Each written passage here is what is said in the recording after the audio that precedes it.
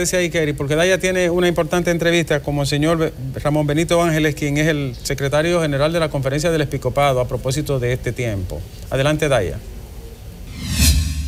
El obispo auxiliar de Santo Domingo y secretario general de la Conferencia del Episcopado, Ramón Benito Ángeles, recordó que la conmemoración de la Semana Santa es un tiempo para que la ciudadanía aprecie la vida y la muerte. Y aquí la muerte quiere adquirir un sentido que no es un sentido de desaparición, ni tampoco es un sentido negativo para la humanidad, sino que en el ámbito de los misterios de nuestra salvación, la muerte adquiere un significado de eternidad.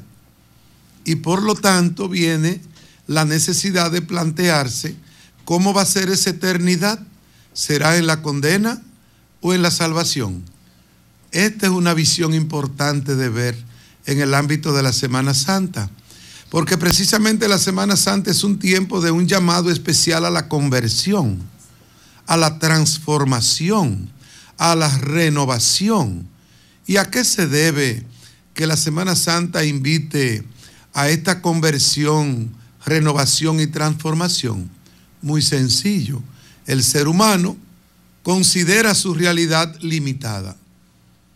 Por lo tanto, en sus limitaciones, todos los seres humanos pues alcanzan niveles de deficiencias, carencias, debilidades, pobrezas, que pueden incluso llegar a ser pecados.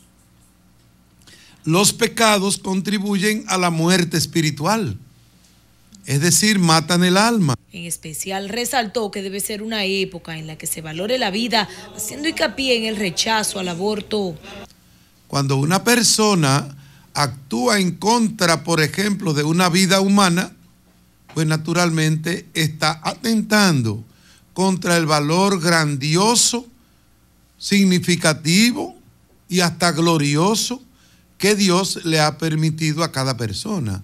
Y nadie tiene derecho de amenazarla ni en el vientre ni fuera del vientre. Aquí estamos también hablando de un tema sustancial.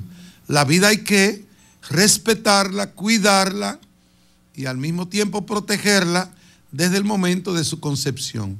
Pues una persona que amenace contra la vida en cualquier sea el espacio, pues está produciendo una muerte espiritual a través del pecado. Pero una muerte espiritual también es aquella de nosotros ser capaz de devolverle la vida al amor y producir la desaparición del odio, de devolverle la vida a la esperanza y desaparecer la desesperación. Es devolverle la vida al sentido mismo de vivir y no perder el horizonte de la vida misma hasta querer destruirla para otros o para sí mismos. Benito Ángeles descartó que en el país se haya perdido del todo el significado de la Semana Mayor. Yo no diría que se ha perdido el verdadero significado de la Semana Santa, sino que también hay personas que aún teniendo los sentimientos propios de esta semana, están verdaderamente distorsionando el verdadero sentido espiritual que nos quiere traer la Semana Santa a nosotros. No es que se caiga en un tradicionalismo, sino que se tenga conciencia de que en estos días nosotros tenemos presente al mismo Hijo de Dios, entregándonos amor y misterios eucarísticos al mismo Hijo de Dios, entregando su propia vida en la pasión y en la cruz, asumiendo humillaciones y maltratos por ti y por mí, pero al mismo tiempo dejándonos claro, no hay triduo pascual que no esté enfocado, dirigido y teniendo como meta fundamental la Pascua de Resurrección. Asimismo hizo énfasis en la celebración del jueves santo. El jueves santo es un día del amor, en el encuentro de la tarde de esa misa de la Santa Cena, que además de ser la Santa Cena por la transustanciación del pan y del vino en el mismo cuerpo y sangre de Cristo, es también la fundación del amor. Ámense unos a otros como yo les he amado.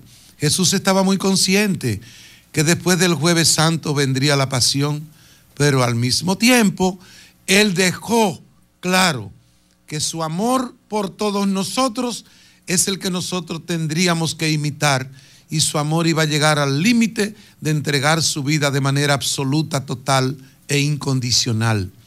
En este tenor, el jueves santo inaugura el sacerdocio. Tomen y coman, esto es mi cuerpo, tomen y beban, esta es mi sangre. Hagan ustedes ahora esto en memoria mía. Y ahí nos dejó el encargo a través de la sucesión de los apóstoles. Es el día de la humildad y del servicio. Cómo Jesús se abaja de una manera humilde y sencilla para mostrar cómo hay que servir. En ese tenor llamó a dejar de lado los pecados que contaminen el alma. Morir al egoísmo, morir a la maldad, morir al irrespeto, morir a cualquier actitud, actitud fractricida que pueda tener u homicida, y es morir para vivir. Y vivir es la garantía que nos da Jesús precisamente al llegar incluso a sufrir su pasión, pasión dolorosa, pasión también humillante, pasión en la que el mismo Jesús expone todo su ser en el silencio, sin responder al salivazo, a las maledicencias, a las burlas y a todo lo que significa el irrespeto a la dignidad de una persona como lo ha sido Jesús.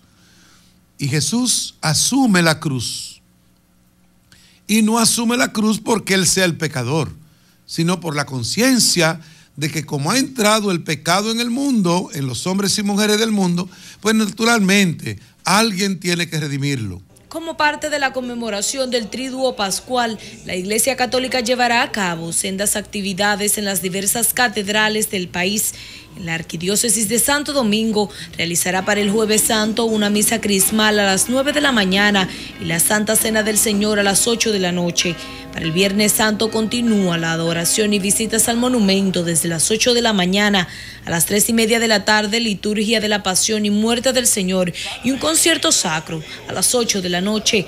El sábado santo tendrán una vigilia pascual a las 8 de la noche y el domingo de resurrección una misa de Pascua al mediodía. Daya Cena CDN.